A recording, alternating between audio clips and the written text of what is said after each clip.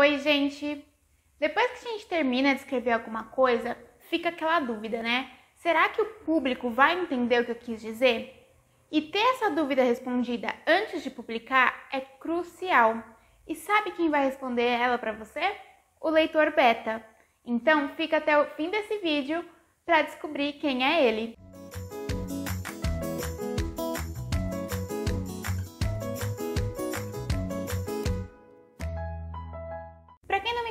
Eu sou a Natália e sem mais delongas eu vou explicar para vocês quem é o leitor beta.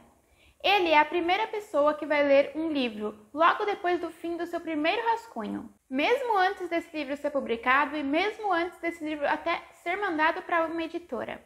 Além de ler, é claro, ele vai dar um feedback para o escritor das suas emoções, das suas sensações. Sabe quando eu falei das profissões que trabalham com livros? O leitor beta, na cadeia de fazer um livro, ele vai vir logo após o escritor. O leitor beta, ele pode ir recebendo o manuscrito por capítulos, ele pode receber o manuscrito inteiro, ou ele pode receber só alguns capítulos que o escritor está com dúvida. Isso vai muito de escritor para escritor, de projeto para projeto. Ele vai julgar os personagens, o enredo, a narrativa, né? To todos os elementos da narrativa. Ele vai falar para o escritor o que, que ele gostou ali, né? O que, que foi legal, ou o que o incomodou um pouco. É claro que rola uma conversa antes, né? De qual é o objetivo daquela obra, né? Para realmente o leitor beta saber o que, que ele vai ter que analisar ali enquanto ele está lendo. Se você quiser ser um leitor beta, tenha consciência de que você tem que falar 100% o que achou para o escritor. Você tem que ser muito sincero com ele para que ele possa melhorar aquela obra do melhor jeito que ele conseguir. Se você é autor, faça uma escuta ativa do seu leitor beta. Deixe o seu orgulho de lado. Se ele falou que tem coisas para melhorar, é porque tem coisas para melhorar. Então, corre atrás do que tem para melhorar.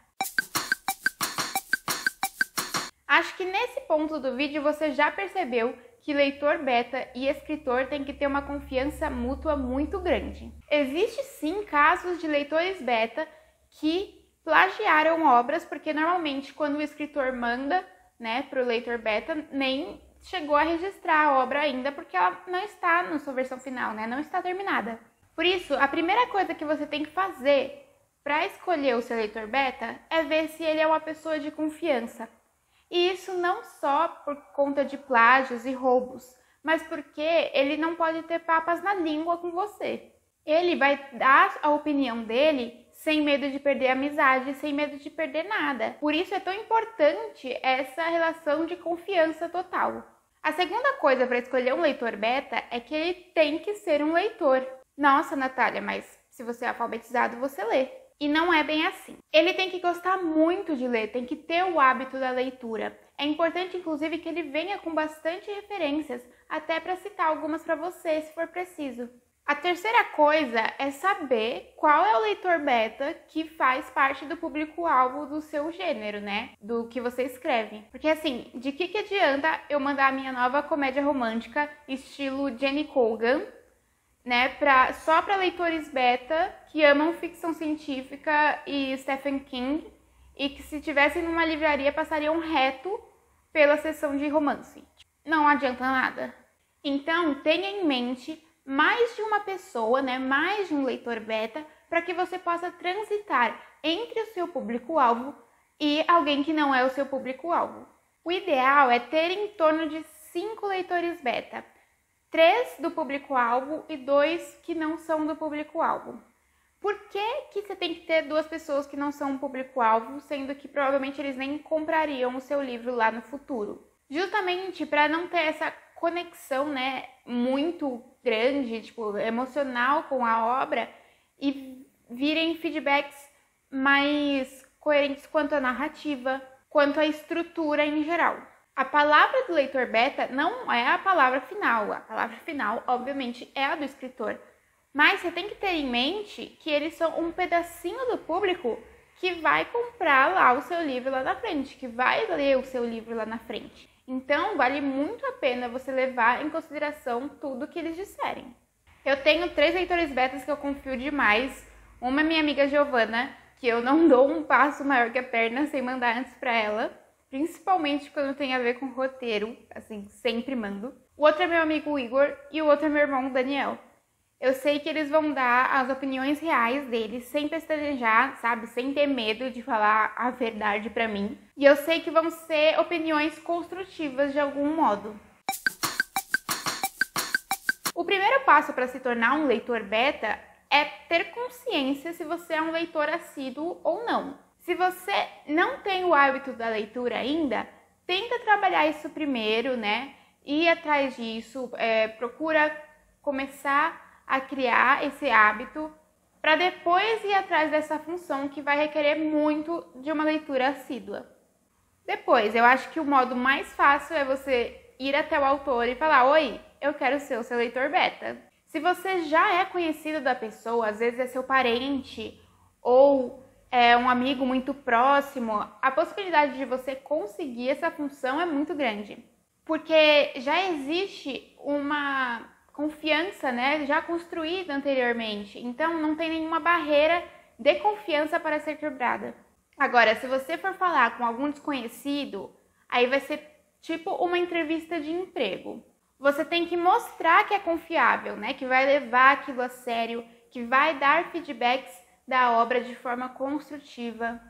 Muitas vezes os escritores também têm prazos, então você vai ter que seguir o prazo que o escritor vai te dar para dar o feedback para ele. Então, se você for mandar um e-mail ou uma mensagem em rede social, escreva um bom texto, né? Conta um pouco sobre você, sobre os seus hábitos de leitura, sobre seus gêneros favoritos, seus livros favoritos. Se aquele autor já é publicado, conta também como que você conheceu ele, né? Quais as obras favoritas dele, por que que você admira, né, aquelas obras. Realmente mostre em palavras por que que você tem que ser o leitor beta dele. Depois que você conseguiu a função, realmente dê o seu melhor sendo o leitor beta daquele autor. Dê feedbacks completos, realmente ajude o escritor naquela jornada. Lembra que aquela é a profissão dele, né? O ganha-pão dele. E ele te pediu ajuda para ajudar a melhorar naquilo que ele faz. Então, realmente seja o braço direito daquele autor. Ah, e lembrando que o leitor beta normalmente não é um trabalho remunerado, né? É um trabalho voluntário. Então, se você está fazendo isso, é porque você realmente gosta, é porque você realmente quer ajudar. Eu vou deixar o link na descrição dessa primeira dica, que é o Clube dos Betas, para quem quiser se cadastrar. Ele é como se fosse um banco de leitores beta, né, online, onde você pode se cadastrar tanto para se tornar um leitor beta quanto para você procurar um lá dentro do banco. Eles oferecem mini curso, fazem uma tiragem, então é bem legal e é bem confiável. Outra dica é: sempre troquem arquivos por e-mail. Mesmo sendo uma pessoa de sua total confiança, o e-mail sempre é o modo mais seguro para trocar os arquivos. Você, leitor beta, inclusive, fala para o autor, né? Ah, então manda para o meu e-mail, porque isso vai passar ainda mais credibilidade para o seu trabalho. Esquece o WhatsApp, esquece Messenger do Facebook, tá? É, vamos esquecer essas redes sociais para enviar arquivos importantes. Arquivos importantes se envia, se envia por e-mail. Vamos profissionalizar aqui o negócio.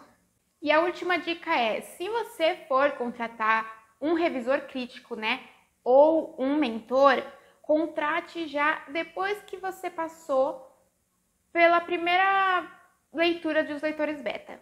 Que você já teve uma visão do público, já fez as mudanças que achava necessária. E aí você passa para o revisor crítico, né?